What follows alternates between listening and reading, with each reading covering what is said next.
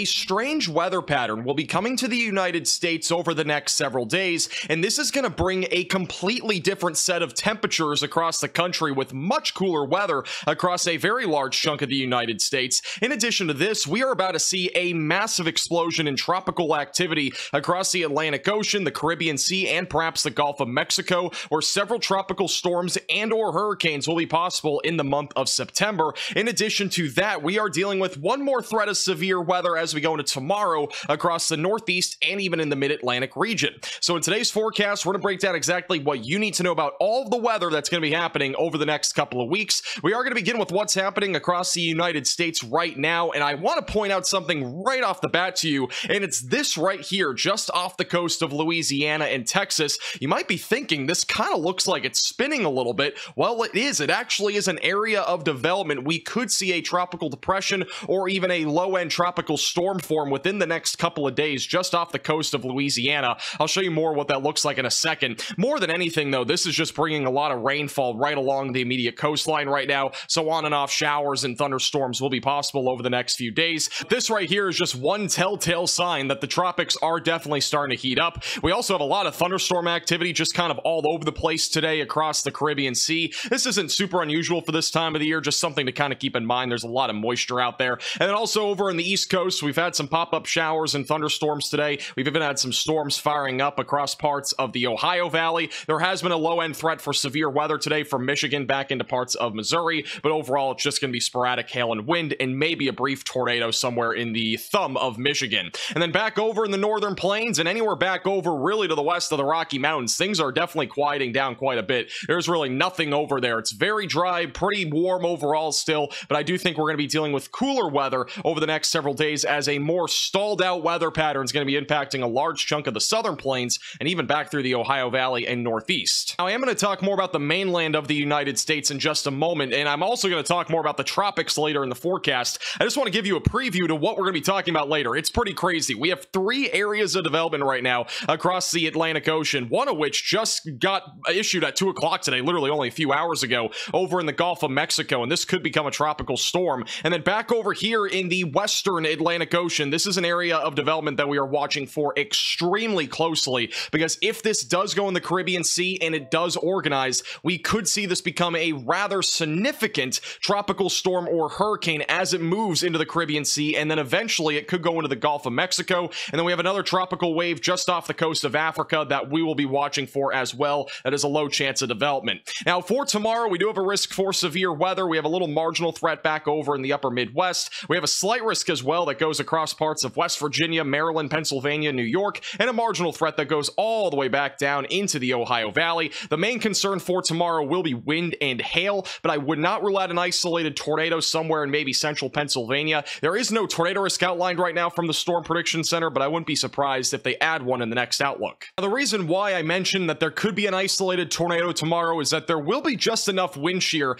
especially across Pennsylvania and perhaps even back into parts of New York and maybe even western Maryland, where we could see a spin up or two somewhere in those areas. But overall, it's a very low risk. It would predominantly just be during the early to mid afternoon hours, and then we're kind of done with it as we go later into the afternoon and into the early evening. Here's what the timing looks like for tomorrow. Storms will be out there in the late morning and early afternoon, mostly across Ohio and Kentucky, and then also western Pennsylvania. The severe weather threat, though, really ramps up around 1 to 2 o'clock, and this is where we're watching for sporadic hail and wind. And then as we get closer to 3, 4, 5 o'clock, these storms continue to push east. The one limiting factor to the tornado threat for tomorrow will be that this is more of a linear line of storms and it's not going to be very organized. So there are some problems when it even comes to a tornado threat. But if any storm can kind of stay a little bit more discrete, I definitely could see there being an isolated tornado. And then as we go later into the evening, storms move across parts of Virginia before dying out as they approach the Appalachian Mountains. And then as we go into the overnight hours, perhaps some storms still remaining, but I don't expect any severe weather beyond there. Now let's talk more about the weather pattern that'll be impacting the United States over the next week or so. And to look at that, we're going to look at the jet stream. Gives you an idea of what's happening in the upper levels, which usually does translate to the ground level. This is what we're looking at for the next few days. So again, we're going to have a ridge that's just going to build across the Rocky Mountains. And what this is essentially going to do is just build a big heat dome across the western tier of the United States, especially west of the Rocky Mountains. We're at least not going to see nearly as much heat build in the southern plains as we have for the last several weeks. We are actually going to see a lot more rain in Texas and Oklahoma Oklahoma, which is going to lead to cooler temperatures. Now, back over in the northeast United States and back into Canada, we still have a relatively strong trough that'll be up there. That's not going to really move very fast, but once it moves out, we are going to start to see that ridge just kind of weaken. We're going to have a more zonal flow across the United States. And what this zonal flow is going to do is allow for a lot more of just a sporadic sort of weather pattern where we're not looking at any organized upper level features that are going to bring, you know, major severe weather events or even in some situations, major heat waves. We don't really have anything that indicates that as we go into next week. And then once we go beyond Thursday, Friday, and even Saturday of next week, things become relatively uncertain. The European model indicates that we could get a trough that really digs down into the United States. And if we do get a tropical system into the Gulf of Mexico, which is what the European model thinks right now, we could see that get attracted to that jet stream or even get repelled and it could sit somewhere like something like Debby where it kind of sat for a while would definitely not be impossible with something like that. But again, we don't really know what's going to happen since it's just so far out. So to put this into more simplistic terms, as we go into tomorrow, we're going to continue to see showers and thunderstorms from Texas all the way back through the Northeast. Once we go into Sunday into Monday, we're going to have a high pressure system at the surface level really build across the Midwest, and that's going to keep things dry and warm for probably several days on end back over in the Midwest, while it's going to stay active in the southern plains and the southeast. Once we go into Wednesday into Thursday, we're going to continue to watch just for an active weather pattern near the Gulf Coast and in the mid-Atlantic. We're going to see a trough more than likely sometime late next week back up in Canada. Look at this purple stuff, by the way. We are now going into early September. Got a little sign maybe of a mix of rain and snow in Canada. We're not too far from that. Once we go later into the week, though, again, things become more uncertain. But as of right now, no organized severe weather events beyond tomorrow are in the forecast. And look at that little thing down there at the bottom of your screen. That right there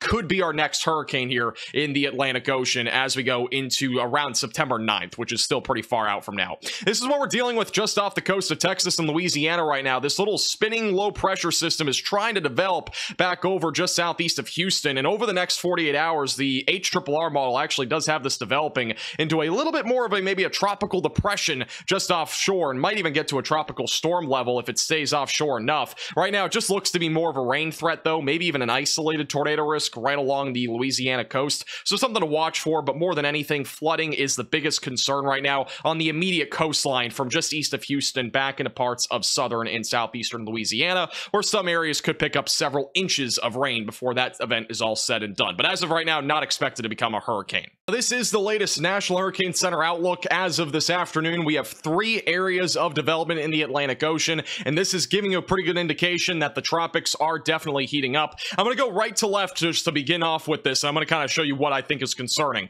Right now, I don't think this tropical wave is much of a concern for the United States. I don't expect this to really even go towards the United States, at least for now. It has a low chance of development, and it'll probably end up curving back out to sea, where the Bermuda High is going to be sitting off to its north. So more than likely, this is not uh, really much of a concern for the United States. What I think is a bigger concern, and it could be a huge concern for the United States, depending on what happens over the next few days, is this area of development right here. Now, in the short term, this is expected to become a tropical depression or storm near the Lesser Antilles. At least there's a medium confidence of that happening. So as of now, there's no like 99% chance that this is definitely happening, but there's about a 50-50 chance that we see development. In the case that this does develop, which is what we're going to be talking about, if it does develop, I think that this could easily become a major hurricane. And I'm not trying to say that to scare you. I just know that this environment here in the Atlantic Ocean, the Caribbean Sea, and the Gulf of Mexico is extremely favorable for hurricanes right now. And it is a very favorable environment. We, have, we really haven't had anything in the Caribbean or Gulf of Mexico since either Debby or Beryl, which Beryl, by the way, was back in June. So it's been a while since that was even here. So uh, it's just really just an untapped environment right now in the, both the Caribbean Sea and the Gulf of Mexico. And Debby didn't really do much to really spur up the water or anything like that. But that is something we're going to talk about more in detail here in a second.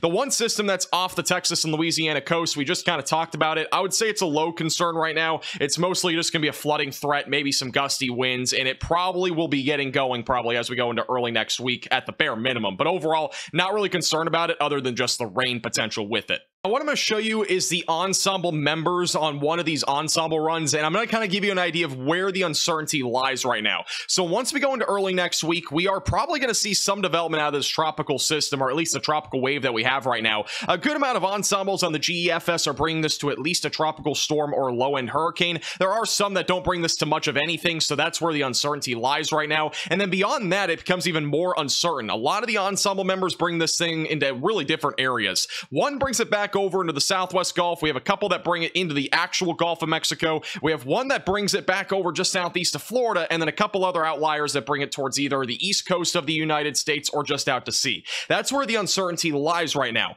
Now, if we look at the EPS ensemble members, which are more of the European based ensemble members, look at the certainty that this has right now and the bias it has. It's insane. Almost every one of these ensemble members brings us towards Florida or near the east coast of the United States or goes right into somewhere like Louisiana as a pretty much major hurricane. What I'm basically saying is that this is something that we are going to have to watch for very closely. There's no reason to panic right now. Just make sure that you are staying aware because we are going into September. It is the peak of hurricane season in September and even early October. We are going to see probably at least a couple of hurricanes over the next couple of months. Whether those impact the States or not remains to be seen, but I do think that this tropical wave does have a high likelihood of doing something to the United States. Whether it's just a weak tropical storm or it's a major hurricane, we don't really know now. It's just something we're going to be watching for very closely over the next several days. Thank you so much for watching. Make sure to hit the like button down below and subscribe if you've not already.